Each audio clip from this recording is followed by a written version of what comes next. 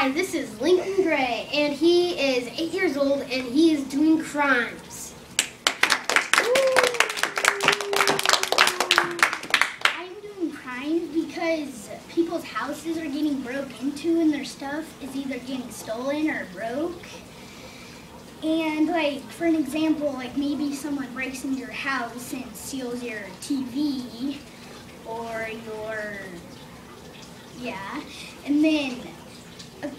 to stop that, you could like make sure every night you go to bed, make sure your doors and windows are locked. And another thing that could happen is you getting kidnapped. So like if you're at the store and you're with your parents and then this per this person comes up and steals you and your parents don't know and then you could get and then they could hurt you or maybe kill you. And then the last thing that could happen is you just getting hurt or killed by someone like maybe if you're sleeping and someone breaks into your house and while you're sleeping and you don't know they could shoot you